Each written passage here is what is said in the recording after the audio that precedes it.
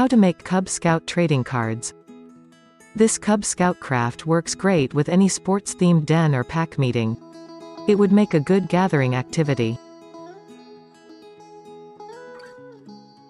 You will need a small photo of each Cub Scout, white cardstock or construction paper cut to trading card size, pencils, and crayons or markers.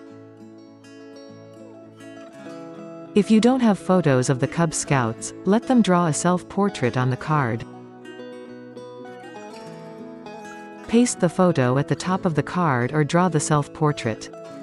Write Cub Scout stats at the bottom, name, birthday, rank, achievements earned, campouts attended, etc. Add additional decorations with the crayons or markers. Have them make multiple cards if they want to share them with their friends.